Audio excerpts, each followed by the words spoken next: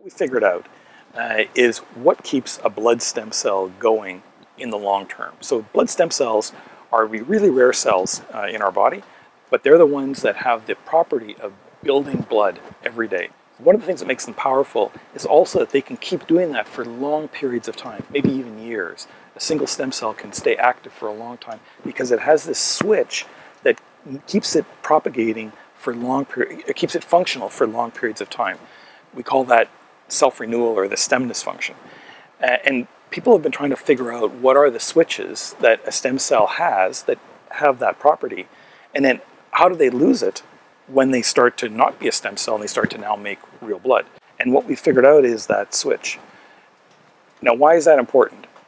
It's important because one of the big problems uh, that we have today is that we don't have enough stem cells uh, that are useful for clinical therapy. So stem cell therapy, blood stem cell therapy, is one of the most widely used regenerative medicines that are available.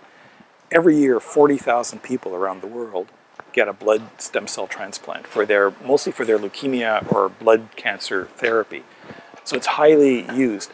The problem is that two-thirds of people who need a transplant don't have a related donor.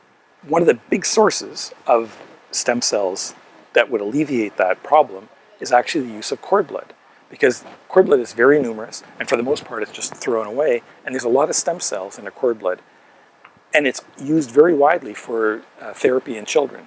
The problem is that most of the people who need it are in adults and they're much larger. We need more stem cells and there aren't enough stem cells in a single cord blood. What we've uncovered by knowing what the switch is, what we figured out is that when a stem cell divides, it makes a lot of cells in the tier just below, just downstream from the stem cell.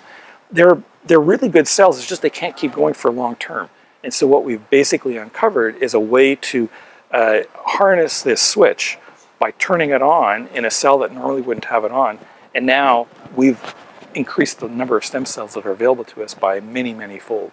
And so this is a proof of concept, but we hope that in the long term, this could be harnessed into a clinical therapy. We can now take advantage of all the cord bloods that are now being collected in these various uh, public cord blood banks, which are now uh, blossoming uh, and growing across the country. I'm John Dick. I'm a senior scientist at Princess Margaret Cancer Center, University Health Network.